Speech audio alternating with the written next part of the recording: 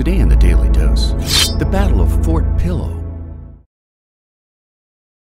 An important part of the Confederates' defense and control of the Mississippi River, Tennessee's Fort Pillow, some 40 miles north of Memphis, would fall to Union forces in the summer of 1862.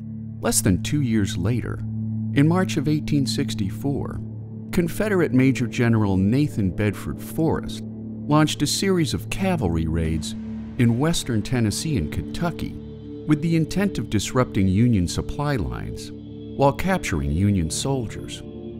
On the morning of April 12, 1864, Forrest led some 1,500 to 2,500 Confederate soldiers in an attack on Fort Pillow, which was defended by a comparatively meager 600 man garrison of Union soldiers, half of them African Americans, fighting with the 54th Massachusetts.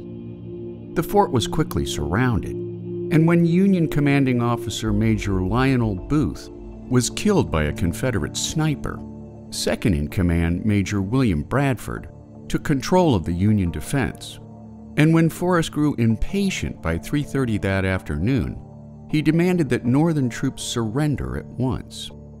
Instead, Bradford proposed a 1-hour ceasefire in hopes that his call for reinforcements would arrive in time.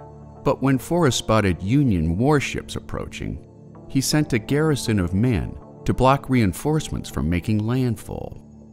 Hopelessly outnumbered, Bradford fled the field, while most of his Union troops surrendered with the hope of fair treatment as POWs under the Lieber Code, which was first issued by President Abraham Lincoln on April 24, 1863.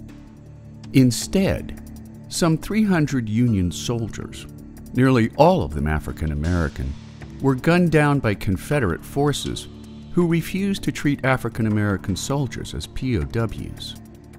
The massacre would later outrage Northern politicians and military leaders, resulting in the Union's refusal to engage in prisoner exchanges after the slaughter at Fort Pillow.